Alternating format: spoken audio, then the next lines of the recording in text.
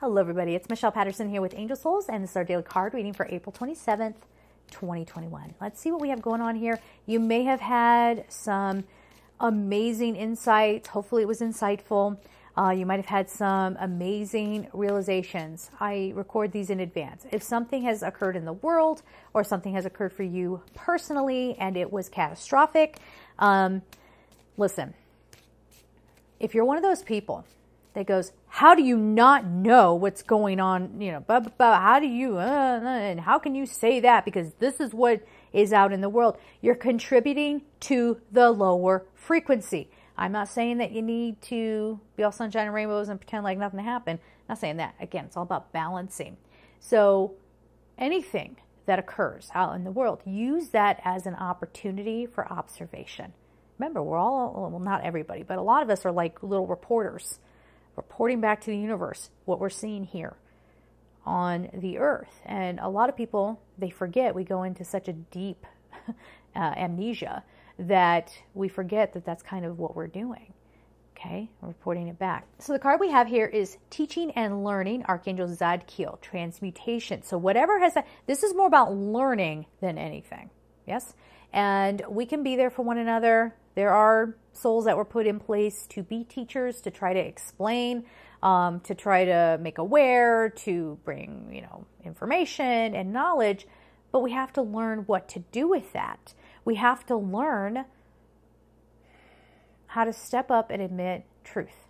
So many of us are in denial about who we are, what we're supposed to be doing, you know, and, and we just want to sidestep it by saying, no, no, no, I did all the spiritual stuff and therefore it's all good and I'm well on my way. No, your whole life is going to be constantly learning, learning, learning. And yes, if somebody does want to be taught, you can act as teacher. So this says keep an open mind and learn new ideas, then teach these ideas to others. So there is this chain reaction that needs to occur. If you ever notice, this is okay. Um, if you ever notice a lot of uh, life coaches, even spiritual life coaches, will use personal examples. And it's very funny. We'll hear people get very triggered by that because they just think everything should be about them, I guess.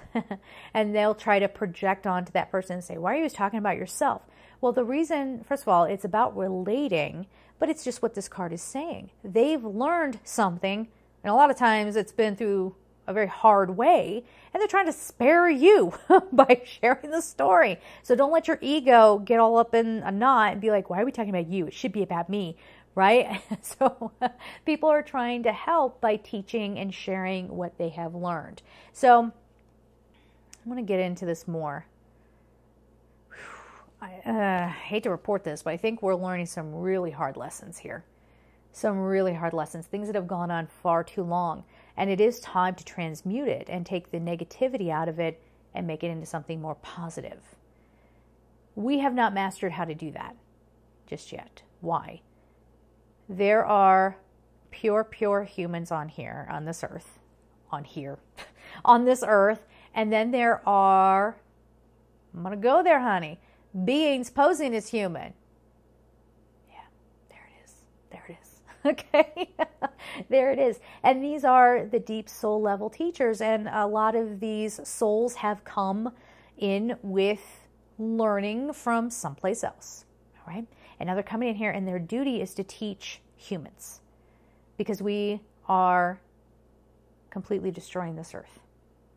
We're completely destroying it. You're going to hear me talk about this for forever. Okay because it's a thing. we need to hear it. Uh, so if if humans, if we humans don't want to learn, if we don't want to listen to what we need to change, well, again, there's that divine intervention that's going to come in, and then we're going to be forced to change. Okay, so we don't. Let's take care of this ourselves. Now, as I say, taking care of this earth, I think it's wonderful when people are out there and they're really passionate about cleaning up the oceans. They're passionate about protecting animals. They're passionate about the environment. You know, I, I love that.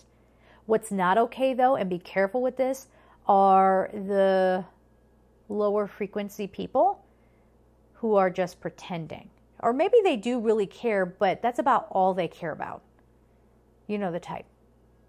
They're the ones coming at you saying, you can't be like that. You have to believe the way I do. You have to live the way I do. They're in a bad place. Watch, they're saying this right now, watch what teachers you follow and watch uh, who you look up to. And watch who you take advice from. Be discerning about who you take your advice from. All right? So we're going to leave it there, guys. I'm sending you all so much love and take care.